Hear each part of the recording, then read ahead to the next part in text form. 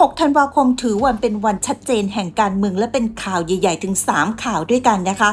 โดยข่าวแรกที่ออกมาดิฉันไล่เรียงตามไทม์ไลน์ของเวลานะคะ ไม่ได้เกี่ยวกับรักชอบใครโดยทั้งสิ้น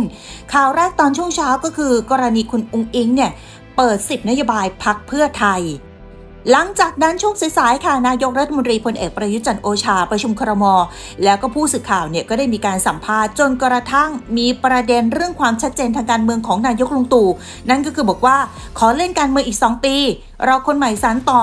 บิ๊กตู่ชัดเจนแล้ว พยักหน้ารับเข้ารวมไทยสร้างชาติ นี่คือพาดหัวที่สื่อออนไลน์เมื่อวานนี้เขาพูดถึงกันนะคะแล้วก็อันนี้ชัดเจนที่สุดค่ะ เมื่อลุงมิ่งนะคะ ประกาศตัวเป็นสมาชิกของพรรคพลังประชารัฐ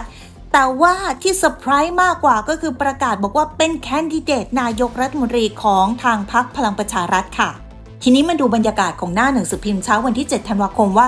สื่อไหนให้ความสำคัญกับข่าวไหนเป็นประเด็นหลักค่ะมติชนนะคะบอกว่าป้องเปิดตัวมิ่ง สู้แก้ปากท้อง เข็นชิงนายกเจ้าตัวเผยดีลร่วมพลังประชารัฐ ส่วนกรรมการบริหารพักนี่มึนแถลงนอกบท ขณะที่บิ๊กตู่พยักหน้าซบรวมไทยสร้างชาติ ลั่นลุยอีก 2 ปีค่อยส่งไม้ต่อ ส่วนองค์อิงโชว์ทีเด็ดค่าแรง 600 บาทค่ะต่อกันที่ไทยโพสต์นะคะ ชัดเจนนะคะพาดหัวบอกอยู่ต่อ 2 ปีทำดีที่สุด บิ๊กตู่รับชัดสังกัดพรรค ขณะที่เพื่อไทยคิดใหญ่ค่าแรง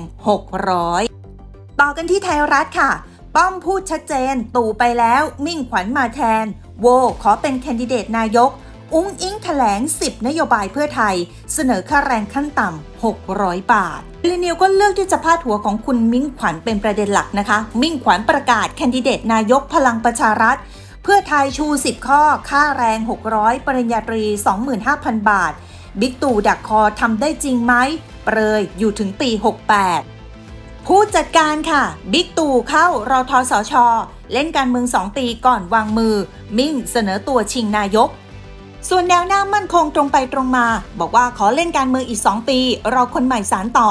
บิ๊กตู่ชัดเจนแล้ว พยักหน้าเข้ารวมไทยสร้างชาติฮือฮามิ่งขวัญเปิดตัวซบพลังประชารัฐ อึ้งเสนอเป็นแคนดิเดตนายก บิ๊กป้อมรับประยุทธ์ออกไปแล้ว ส่วนทางเพื่อไทยปลุกผีแพ้ไม่ได้ ชูค่าแรง 600 บาท และขอปิดท้ายด้วยการ์ตูนการเมืองบัญชาคามินในคอลัมน์กูว่าแล้วของผู้จัดการค่ะ อ่านกันเอาเองแล้วกันนะคะ วันนี้ขอขอบพระคุณหน้าหนังสือพิมพ์ทุกฉบับค่ะ